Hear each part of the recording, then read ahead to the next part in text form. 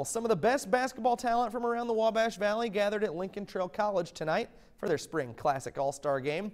Two familiar faces, Dave Mahurin, Mac Thompson on the sidelines for the Indiana and Illinois squads.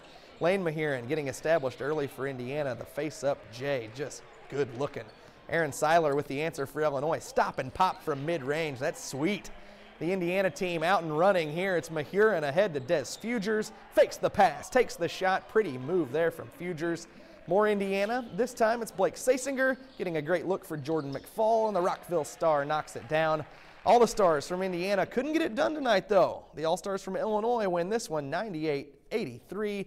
Anthony Johnson, the MVP for Illinois. Lane Mahurin named MVP in this one with an astounding nine block shots from, for Indiana. Two players from the Valley made it to the final three of the dunk contest tonight. There's Des Fugers hanging on the rim, little showtime, down in the chair. That's Desby and Des all the way. He was third. Anthony Johnson put on a show, going up top. Send it in, Anthony. He came in second, got 30 points though from three judges on that particular dunk. Athleticism on display tonight at Lincoln Trail College. That's it for Sports News 10. We'll be right back.